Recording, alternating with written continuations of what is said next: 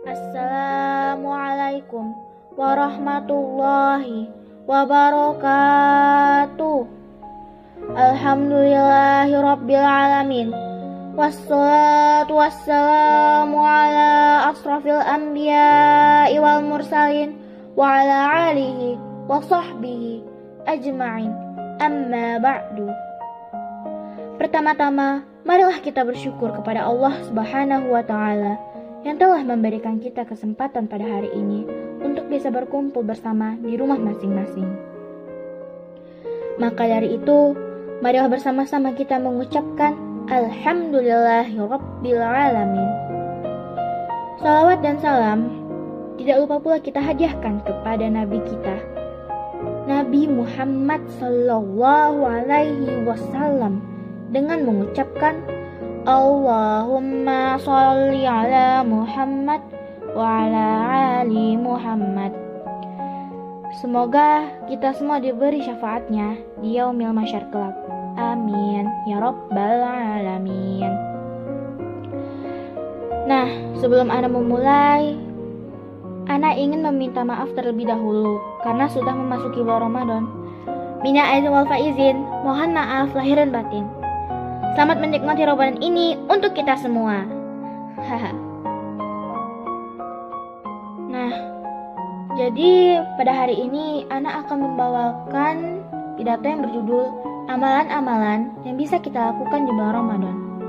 Ya, anak tahu, pasti rata-rata udah tahu semua kan. Cuman, anak hanya ingin sedikit mengulas. Cuman dikit kok, gak banyak-banyak. Satu, berpuasa. Barang siapa yang berpuasa Ramadan atas dasar iman dan mengharapkan pahala dari Allah, maka dosanya yang telah lalu akan diampuni. Hadis riwayat Bukhari. Nah, dari hadis tersebut jelas bahwa Allah berjanji kepada kita semua akan menghapuskan dosa-dosa orang beriman dan mengharapkan ridho Allah. Dua, makan sahur.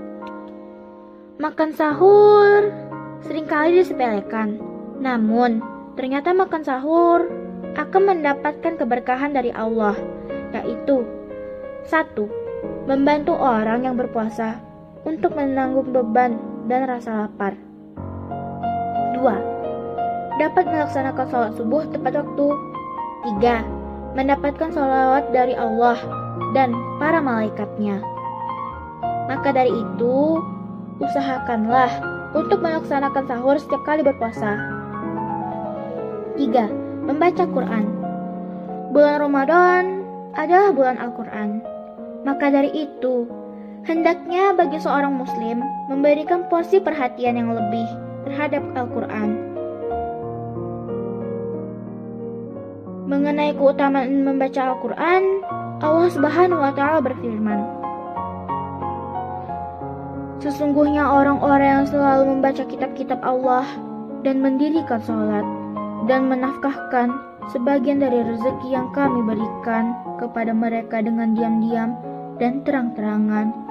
Mereka itu mengharapkan perniagaan yang tidak akan merugi, agar Allah menyempurnakan kepada mereka pahala mereka dan menambahkan kepada mereka dari karunia-Nya. Sesungguhnya Allah maha mengampuni lagi maha mensyukuri. Quran Surat Al-Fatihah ayat 29 sampai 30. Nah, maka dari itu, daripada kita sekarang melakukan hal-hal yang tidak bermanfaat, lebih baik kita semua menjadikan bulan Ramadan ini menjadi bulan penuh amal. Semoga kita semua dapat menjalankan puasa dengan lancar dan Semoga segala amal ibadah kita semua diterima oleh Yang Maha Kuasa. Sekian dari Ana, terima kasih. Bila ada kesalahan, mohonlah dimaafkan. Sebelum Ana pamit, ada baiknya Ana berpantun kilat dahulu. Berbahasa Arab dengan fasih. Sekian terima kasih. Wassalamualaikum warahmatullahi wabarakatuh.